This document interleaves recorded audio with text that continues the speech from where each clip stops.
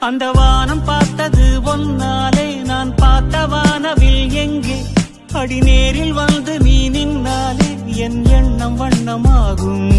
பெரும் பாவம் என்பது யாதென்றால் பல கால காலமாய் காதல்.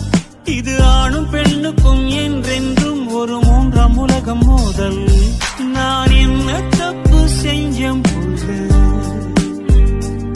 உன் காதல் விட்டு